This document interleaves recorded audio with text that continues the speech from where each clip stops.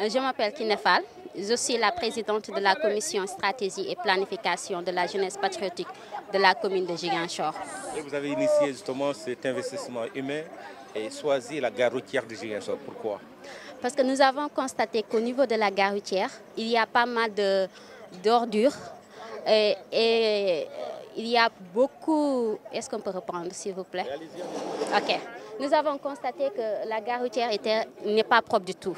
Il y a pas mal d'ordures et qu'il n'y a pas de personnes qui sont responsables du nettoyage de, la gare routière. Donc nous avons jugé nécessaire de mener un acte patriotique et de nettoyer le, la garage. Raison pour laquelle aujourd'hui nous sommes armés de pelles balais, euh, brouettes et tout ça, rien que pour nettoyer la gare routière et montrer que nous sommes des patriotes et que le changement commence par nous-mêmes. Donc nous devons mener des actions qui sont concrètes, que tout un chacun peut voir et apercevoir. Effectivement, c'est le don de soi.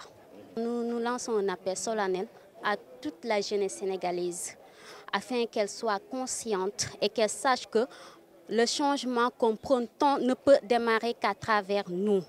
Donc nous devons participer à toutes les activités qui pourront développer éventuellement notre pays, qui pourront changer le regard de notre pays. Parce que nous constatons qu'il bon, y a pas mal d'ordures au niveau de la route. Quand, quand, quand nous marchons, nous, nous les apercevons à, à, travers les routes à côté. Donc nous devons mener des actions qui sont concrètes et essayer de nettoyer le, la ville de Giguinchor. Mais par, de par là, je m'entends bien sûr par dire de euh, tout, tout le pays.